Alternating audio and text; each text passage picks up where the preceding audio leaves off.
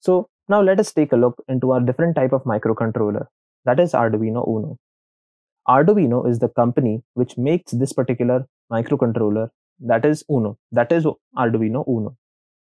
Now Arduino makes different variants of this particular microcontroller like Arduino MKR0, Arduino Nano, Arduino Mega, and so on and so forth. But the most basic microcontroller with high functionality is Arduino Uno.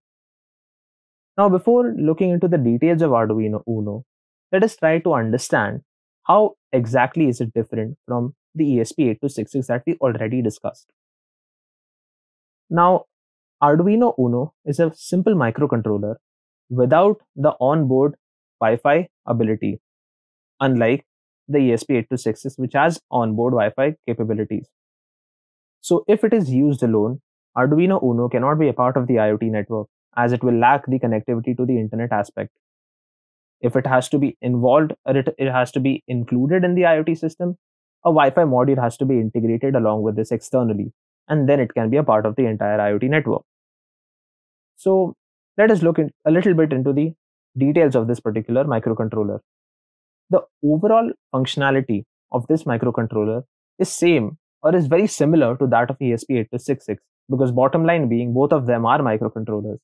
The differentiating factor being the connectivity to the internet, which if it is covered by connecting an external module in case of Arduino Uno, it makes both of them equivalent. So Arduino Uno is a microcontroller board based on the Atmega 328 chip. You don't need to know anything about the Atmega 328 chip. It's just for information purpose. Now Arduino Uno has 14 digital input output pins, out of which 6 can be used as PWM outputs, that is pulse width modulation outputs, and 6 can be used as analog inputs. A 16 MHz quartz crystal is also present on board this Arduino Uno. A USB connection and a power jack is also a part of this setup. An ICSP header and a reset button are also a few important things which are present on the board. Now, in order to use Arduino Uno, one has to simply connect it to the computer using a USB cable in order to power it, and or we can also power it with the help of an AC to DC adapter to get started. So, this microcontroller is widespread and it has many applications, especially for beginners. It is used not only in the IoT domain, but also in the embedded system domain, and for the beginners and the enthusiasts in the embedded system society.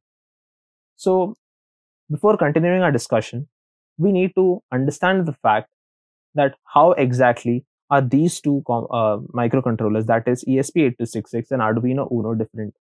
As already mentioned, I would like to reiterate it because it is quite important to understand this point that Arduino Uno, let alone, cannot be a part of the IoT network.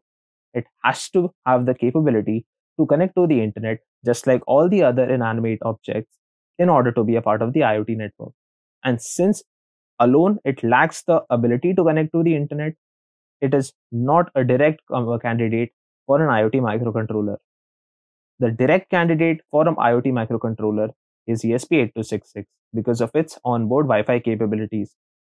The rest functionalities are very similar, and as you can see on the pinout, there are different digital pins on the right analog pins on the right on the left sorry there are different voltage pins 3.3 5 volt ground volt etc and the overall structure looks very similar to that of the esp8266